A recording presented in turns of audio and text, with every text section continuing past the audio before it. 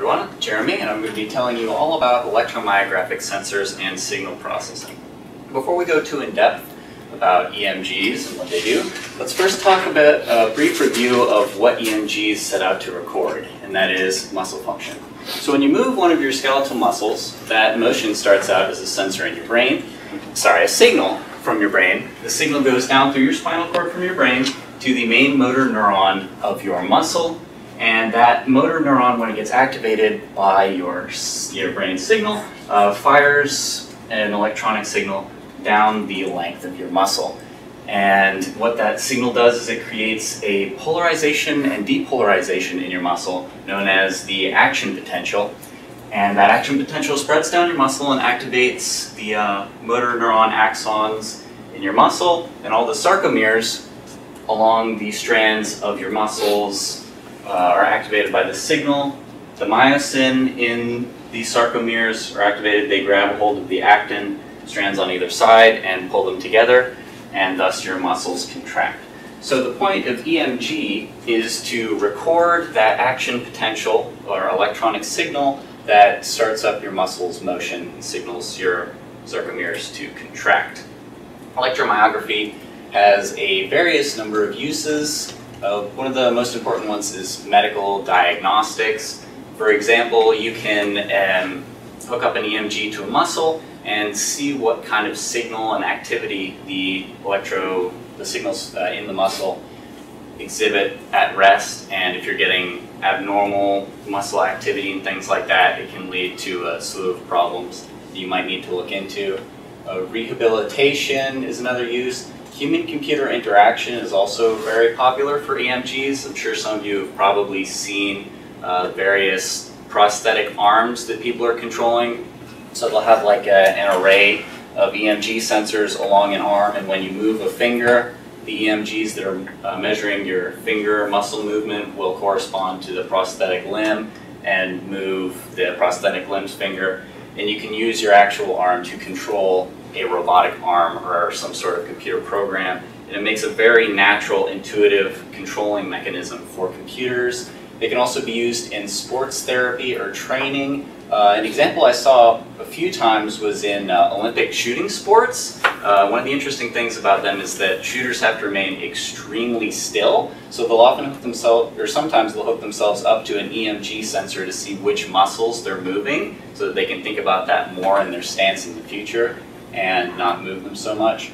Uh, there are EMGs are also popular in biomechanical research for us to get a better understanding of how our brain controls our muscles and uh, that sort of thing. The uh, EMG system has various components. The muscle is important, even though it's not exactly a component of the EMG system itself. So the muscle fibers are going to create your action potential. That action potential is going to be de detected by an electrode array the signal that is picked up by the electrodes will be put through an amplifier because muscle or action potential is a pretty small amplitude signal, so it needs to be amplified quite a bit for a gain for you to really get a sizable signal that you can really uh, interpret and mess with. The amplifier is going to be put through a filter so you can filter out artifacts, uh, power line noise, and things like that that you don't want. Uh, the data from the filter is going to be put to an analog to digital converter so that your analog waveform from the electronic signal, or yeah, electric signal from the muscle, can be discretized into a set of data points that the computer can interpret. And then lastly, your data points from the analog to digital converter, you're going to want to process on some sort of uh, computer program. For this presentation, my examples will be using MATLAB to process the data set from an example uh, EMG set that I found online.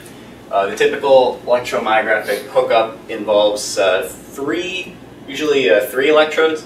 Two electrodes are going to be placed along the muscle, one electrode will be placed in the center of the muscle, and the other electrode will be placed at the end of the muscle. And these two electrodes are going to be measuring the potential difference between the middle of the muscle and the end of the muscle as the electronic signal or electric signal goes through your muscle to activate it. And you'll have a ground electrode somewhere um, away from the muscle as a reference node.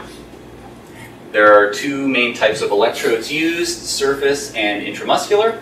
Surface electrodes are very common among other um, measures as well, like EKGs and EEGs. They're simple, they just stick to the skin. They have a metal uh, conductor in the middle with some electric jelly on the other side so that the electronic signals can be read through your skin and to the electrode and down the wires and onto your uh, processing units and all that. The advantages and disadvantages of surface electrodes is that they're they don't really cause the patient much discomfort. They're just a little pad that you stick on, single use you take off when you're done. Uh, they don't really require any special training. You still need to look at graphs and whatnot to make sure that your electrode placements are placed properly. It's very important you get the placement right, but I'll talk about that more later. The disadvantages about the surface uh, electromagnetic technique is that your readings are limited to muscles very close to the surface of your skin. So they cannot measure muscles that are too far below other muscles or too far from the skin.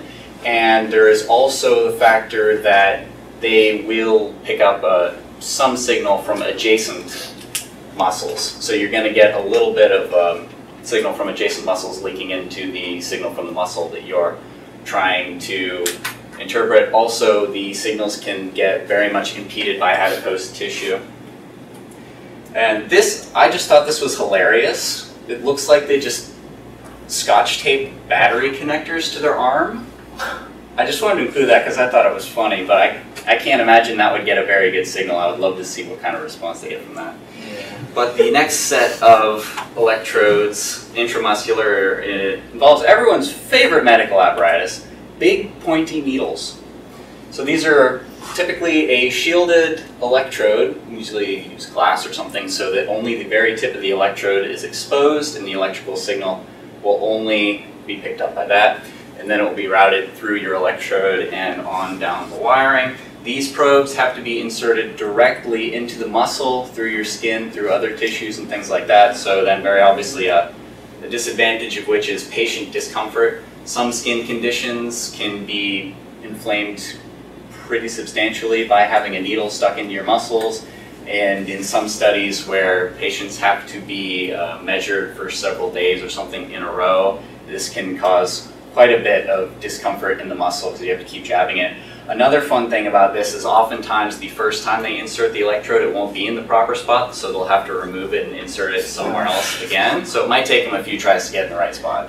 So that's not fun either. But this is, method does have some advantages too. It can um, it can measure any sort of muscles, even ones deep within other muscles, and it does not get much, if any, signal from adjacent muscles. So surface electromyography is a lot more convenient, but in a lot of cases, you have to use intramuscular electrodes, and the surface electrodes just won't really be applicable. Also, these muscles, sorry, these needles obviously require a lot more training and experience than surface electrodes because you don't want just anyone stabbing you with some sort of needle. Here is an example setup for a diagram, a circuit diagram for an electromyogram. Uh, your first step is going to be your instrumentation amplifier. Um, you're going to have two main leads for this. One's from the mid muscle and one is the end muscle. I was talking about earlier that that's where how you measure the difference. Uh, this part here is going to be your ground or reference electrode. And the reason you would want to use an instrumentation amplifier, two main reasons. First of all, it has the common mode rejection ratio so that any signals uh, in both electrodes are going to get filtered out mostly so that can take care of things like power line interference and other sort of noise that you don't want. And also, um, they can have a pretty sizable gain on the instrumentation amplifiers and muscle, muscle potentials are relatively low, so you need to boost them up. This, the next step, you're going to want to have some sort of amplification and a filtering. In this signal, they have um, this gain negative here to balance out the negative gain of the uh, filtering, the filter, amplify it so that this is going to give you a positive signal and this will make it negative and this will make it positive again so these two kind of balance it out and keep the signal positive. Um, for this circuit, they used a high-pass filter of around 100 cutoff frequency. There are two very common filters that you would use in your circuit, either one at 20 hertz or one at 100 hertz. When I get on to the topic of signal processing and artifacts and things like that, I'll discuss uh, which frequency you'd want to use for what situation. But the most popular ones is a high pass filter at 100 or 20 hertz. And this particular filter has the RMS and rectification system built into the signal. Um, when I talk about signal processing, I'll explain what exactly that means. But basically, these are optional components that are used for signal processing. They can either be done in your circuit as depicted here, or you can process it later. So this setup will not give you a raw EMG. It will give you a, an average one straight out. And then this inverting amplifier, I'm assuming, is to balance out this the inverting gain and the smoothing amplifier as well. So then this is going to give you a nice uh, equalized, rectified, positive uh, signal from your EMG. And the next step after the data comes in from the muscles and gets filtered, it's going to go, your voltage output is going to go to your analog to digital converter. This is the part that will convert the analog waveform data from your EMG signal to a set of digital data points that the computer can recognize. Uh, EMG frequencies uh, for muscle action potentials are typically regarded as in the range of 20 to 500 hertz. So the commonly accepted minimum sampling frequency of an analog to digital converter for EMG is usually regarded as 1000 hertz. Uh, but if you want to be a bit more accurate, how, whatever kind of data you're working on, I personally probably use 1500 hertz myself. And an example of an analog to digital converter would be a, an Arduino microcontroller. Those are pretty commonly used by researchers or students. But if you want something a bit more user-friendly for use in a hospital or something, you can get a more robust analog to digital converter that's specifically made for EMG. And for EMG signal processing, once you get that uh, signal out from your analog to data converter, you got a bunch of numbers, and now you need to figure out what to do with it. So there are three main uh, techniques used for processing electromag sorry, electromyographic. I was hoping I could get to the process without calling it electromagnetic, but um, you got rectification, uh, root mean squared enveloping, and Fourier analysis. So rectification, uh, when you receive your raw EMG data, is assuming you don't have the rectification and RMS components of your circuit, you're going to get something that looks a bit like this. You will have amplitude peaks on the positive and negative polarity. And the problem with this is when you average these peaks, EMG signals naturally average at about zero. Obviously, you can't really do anything if your data average points are all about zero. So you need to find some way to convert your raw data to, sounds like it's starting to rain. It's raining, No, yeah. it's to, to all one polarity. There are two methods by which you can do this. Uh, there are full wave rectification, where you just take the negative polarity. Well, it doesn't have to be the negative. You either want it all positive or all negative, but we'll assume that you want your signal all positive for now. So you basically just take the absolute value of your data set. So all of these negative points just get flipped into the positive range. It can look pretty similar, but if you look at some peaks, you'll notice that they just get inverted. This is regarded as the preferred method for rectification because all signal energy is conserved. Whereas with the alternative, oh, I'll get to the, that but with the alternative half wave, you lose some data. So this is some sample uh, MATLAB code I ran for rectifying my, well, the uh, sample data I found. This is a lot of data points. This was sampled at like 4,000 hertz over 12 seconds, so it's kind of hard to tell that there's any difference between the, the top half of those two, but um, well, first of all, for your code, you're going to want to load in your sample data, and this part here is just for plotting it. That's going to be the top right EMG. Uh, I used NA as the units as a placeholder. It's supposed to be millivolts, but I guess I forgot to change that later. So the EMG should be in millivolts, but that's the top right graph. The uh, rectified uh, version here is a very simple, just one line of code to rectify it. All you do is you take your data set and you apply the absolute value to it. So that's going to give you the full wave or rectified EMG off of the sample one. And then it will be plotted here.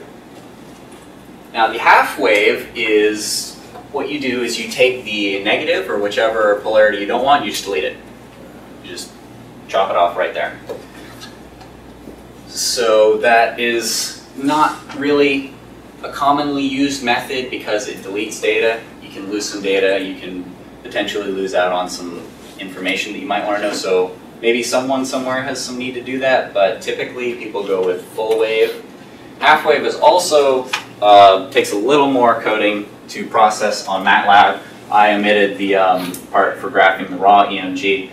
So for the half wave to process that, I loaded up the half wave uh, rectified signal to just be equal to the EMG because the time vector was included in this data set and I just wanted to carry it over for the half wave. And then I wrote a for loop. So uh, for the length of EMG at every time point, it checks the corresponding EMG value. If the EMG value at the time point it's checking is greater than zero, it just copies it right over. But if the time, the uh, EMG value at the time point is less than or equal to zero, it just replaces it with zero. So as it goes through the script, it just checks, is this greater than zero? Okay, it's good, move on to the next one. This one's less than zero, okay, delete it, replace it with zero, move on to the next one. So it does that and rectifies the full uh, signal there. And then this code down here is just to plot it. It can be hard to tell the difference, like I said, on this data set, but if you notice these two peaks here, this one's considerably lower than that, but if we go to the full wave rectification, they're about the same. Can So you just Go back to one slide there. So this second, This is a different data set. Right, but this is halfway, Yes, this is halfway rectified, because the bottom is just deleted. right, okay, it's the opposite. So the other one is the full. See, like on the first one, you can see, Yeah, Where, uh, yeah, same, yeah, same, this peak just, here just translates the, up there, otherwise it's okay. Alright, alright. Now the root mean squared or RMS envelope is basically just an average of your signal as you go. So for every point, it goes out a certain distance in either direction and just averages all the peaks within there. So it's a sliding average. Every point has like a little window that it averages the peaks of. And it just does that point by point along the graph. And you end up with this red signal here, which is your averaged data from the peaks of your EMG.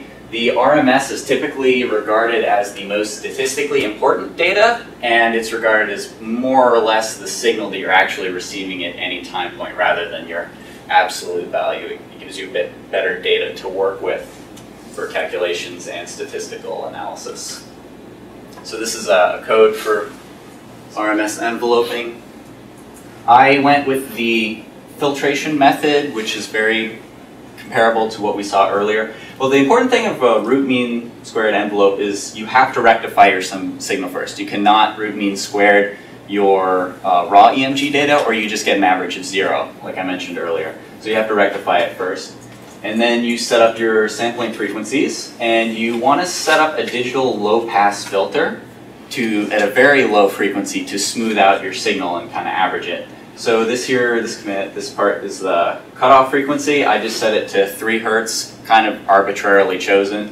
But the greater the number, the higher the frequency, the more rough your signal is going to be. So if I set this to like 20 or something, it you know jump around a lot more. So it really depends on what you want to do with your data uh, and what frequency you want to set it to. So if you want it rougher for some reason, you'd set it higher. If you want it really smooth, then you'd set it lower. Uh, this is going to be the filter order. This part here is going to be uh, creating the filter's parameters off of the order and the frequency and your chosen topography. I went with Butterworth, as far as I can tell, that's one of the more commonly used filter topographies for it. And then this command here is just going to apply your digital filter, and the rest is going to plot it. And you're going to end up with something like this, where you can see your RMS plot uh, along with your rectified plot, if you want to be both in the same plane. And these plots here, the root mean squared, is on the time domain. So you're going to see your amplitude and whatnot. But sometimes, for some research, people might want to see uh, the frequency at which the muscles are activating. For higher, um, faster twitching muscles, you're going to have a, a higher um, frequency. For slower twitching muscles, you're going to have a lower frequency. So this is one reason that you might want to not include the rectification and RMS uh, components to your signal because to apply a Fourier transform, you need your raw EMG data. So if you have the um, components in your signal to go ahead and process the rectification and RMS for you, then you won't really be able to do Fourier transform. So this is what a Fourier transform of an EMG is supposed to look like, more or less. You should see most of the signals probably in the 100 to 200 hertz range, and pretty much all the signals should be between 20 to 500. But, oh yeah, one more interesting thing is the lower frequencies are typically regarded to uh, muscle fatigue. So as you fatigue a muscle more, the more you use it, the lower the frequency of its activation potentials are going to be. This is what my data set looked like. So I'm wondering if maybe there was a lot of noise in the signal or this is a generated signal that I found, but I couldn't really find anything else to really gauge it on, so I'm unsure about that. Uh, I won't go into too much discussion about the uh, fast Fourier transform command I used because that's what Ian was going to talk about, so I'll let him talk about that later, but this is just the standard Fourier transform of converting your signal into the frequency domain so you can see what frequencies are most commonly shown in the, the muscle if uh, your research needs for you to know that. And as for most biological signals, you're going to have to be concerned about artifacts and filtering and just what can go wrong with your signal and the things you might need to keep an eye out for and know how to get rid of. Um, as I mentioned earlier, the electrodes you use for the uh, EMG are actually, I'm pretty sure the same as the electrodes you would use for an electrocardiogram. So there is the potential issue of having electrocardiogram artifacts in your EMG. As you can see here, there's uh, EKG artifacts alongside the EMG. They can be very difficult to remove if they're present, but placement of your electrodes can uh, be a probably the best method to try and avoid getting electrocardiogram artifacts in your EMG in the first place. For the, uh, if you have your sensors on the same side of your body, typically the EKG signal will get filtered out by the instrumentation amplifier, the common mode rejection ratio. I'm not sure why you would have electrodes on opposite sides of your body for a muscle, but uh, also placement of the um, sensors along the axis of the heart can also cause these artifacts. And I mentioned earlier about filters. You'll commonly see a 200, sorry, a 20 hertz or a 100 hertz high pass filter on your EK, your EMG circuit. And this is mostly the reason for it. If you're, for some reason, having an issue with EKG or you want to make sure that you're not getting EKG artifacts in it and you're not concerned with the lower frequencies some muscles might put out, then you might want to put in a 100 hertz uh, high pass filter to filter out e EKG artifacts preemptively because most EKG artifacts should be filtered out by something at 100 hertz. Yep. Uh, otherwise, some muscles, you'll notice that the 20 to 100 hertz range is still within the uh, hertz that some muscle signals are uh, recorded at. So if you do filter by a 100 hertz high pass filter, you might lose some uh, signals that are important for your data set. So if you're not terribly concerned with EKGs, you're probably going to want to just put in a 20 hertz high pass filter. Otherwise, you'll use a 100. So you want to use a 20 if possible, but sometimes you might need a 100 if for some reason EKGs are a problem. There's also the issue of muscle crosstalk, which is mostly just an issue with uh, surface EMG sensors, like I mentioned earlier. Uh, these are caused by potentials from adjacent muscles leaking over into the action potential of the muscle you're trying to record. And the best way to get rid of this is just for good placement of electrodes. If the electrode's directly on top of the muscle and it's just really close to the sensor, sorry, the uh, neuron that you're trying to measure, then the signal is going to be stronger than the adjacent muscles enough that they won't influence the signal as much. But that's pretty much the main thing you have to do to get rid of muscle crosstalk because you can't exactly filter out the adjacent muscles signal because it's very comparative to the signal that you're actually trying to measure. There are also movement artifacts since there's quite substantial gain in EMG circuits, even just moving the electrodes or the cables can cause artifacts. So for something like that, you'll want to either tape down the uh, electrode leads and wires or whatnot. Or this is why you would typically use a 20 hertz high pass filter as a minimum because that should get rid of your um, movement artifacts. Otherwise, if you know, if you're seeing a signal here and you know that the muscle wasn't moved there, you can just manually remove it. And it's the only three things in life we're guaranteed are death, taxes, and 60 hertz noise. You have to be careful of your power line. Mostly that's going to get filtered out by your instrumentation amplifier's common mode rejection ratio, but just in case it's still present in your uh, signal, you just use a notch filter to get rid of whatever le whatever's left of it. And that's everything I want to talk about at EMG. Those are my sources. Are there any questions?